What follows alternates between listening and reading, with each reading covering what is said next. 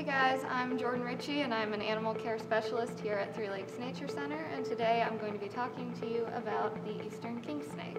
So that is this guy right here. So as you can see, he's kind of a blackish color with this pretty um, yellowish white chain link pattern on his back. So that is um, typically their patternization and when these guys are juveniles they have the same patterns as adults. So a lot of times in snakes you'll see um, the juveniles have a different pattern than their um, grown-up counterparts. These guys have the same pattern their entire life. Um, so they're full-grown size. This guy is an adult, um, so they're about three and a half to four feet, um, a little under four feet actually. So kind of a mid-bodied sized snake for our area. Um, and this species does not have any sexual dimorphism. So sexual dimorphism means that there is a very apparent um, distinction between the males and the females. So these guys, this species, the males do tend to get a little bit bigger, but it's not super noticeable and unless you have one of each gender in front of you, um, you're not going to be able to determine if it's a male or female. So they live in the orange portion of the map, so Virginia all the way on down to Florida and a little bit over to Alabama. So that's where you'll find this type of king snake. There are several other species throughout the United States. Um, so these snakes are kind of habitat generalists. They will spend most of their time in forested areas near um, bodies of water, but they're not swimming or anything. They just need it for um, to help them find food and also to um, drink water.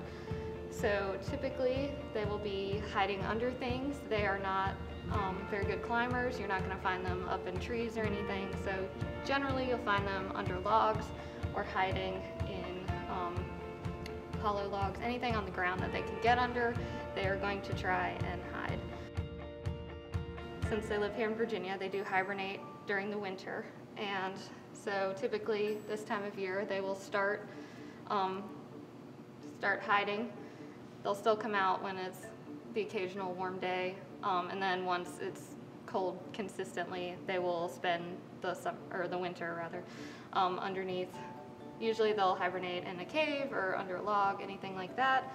Um, so one of the reasons that they are actually called king snakes is because these guys will eat other snakes.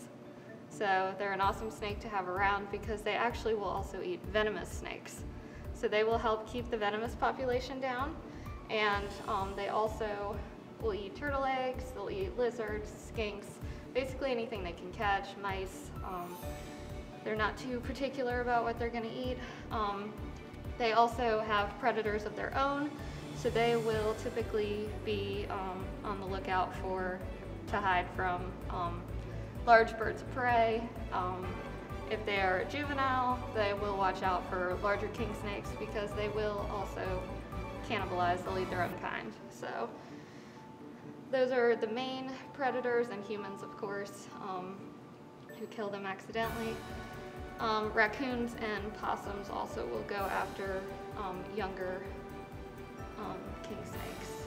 All right, so some cool adaptations for these guys. So we talked about how they are, um, they will eat venomous snakes. They're actually completely immune to pit viper venom. So the three venomous snakes we have here in the state of Virginia, the copperhead, the cottonmouth, and the rattlesnake are all parts of the pit viper family, so they have those little heat sensors on their face that help them detect prey. These guys are completely immune to the pit viper venom. So if they get bit during the struggle, they're completely fine. They have no, any, no reaction at all. So that's an awesome adaptation that these guys have. Um, some other general snake adaptations. Um, the tongue flicking that I'm sure you've noticed um, is actually an adaptation for them. So the tongue flicks out and collects molecules in the air. And then they have this special organ in the roof of their mouth called a Jacobson organ. And with that, they flick the tongue, collect the molecules, and then flick it to the roof of their mouth, and it tells them a lot about their environment. It tells them um, if there's food nearby, if there's potentially a predator nearby. It also tells them if there's maybe um, a female nearby if they're interested in mating. So they get all kinds of information about their environment from the tongue flicking. So that is a really cool adaptation they have. Um, another is their jaw and teeth. So they have extremely flexible jaws. So I think it was, if we had the jaw flexibility they did, we'd be able to swallow a basketball. So that is why they're able to eat things that are much larger than the size of their heads. Um, and also their teeth. So most people, when they think of snake bites, they think of the two fangs. And that is only true for um, the venomous ones because they use the fangs to deliver the venom. So non-venomous snakes still have teeth, but they have these little itty bitty teeth that face backwards. And so while they're swallowing, those teeth kind of help push the food back down towards the end of the throat so that they can swallow it. All right. So reproduction wise, these guys mate in late spring and then they will um, lay eggs in late June. So typically they'll have about 10 to 15 eggs.